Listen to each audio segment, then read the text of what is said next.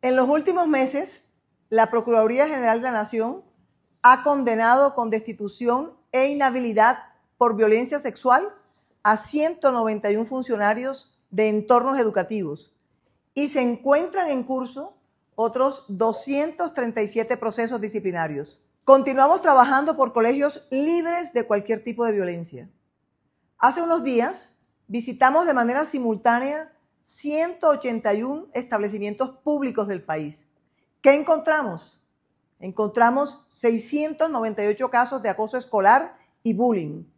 Encontramos 171 hechos de ciberacoso.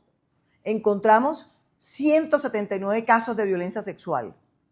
En la mayoría, las agresiones se presentaron entre compañeros y compañeras. También encontramos a docentes como presuntos agresores. Además, el 15% de los colegios no tenían protocolos de atención. Con la información recogida, he ordenado que se inicien las actuaciones disciplinarias a que haya lugar. He ordenado constituir las agencias especiales en los procesos penales y además restablecer los derechos de las víctimas en los casos en que el presunto agresor sea un docente.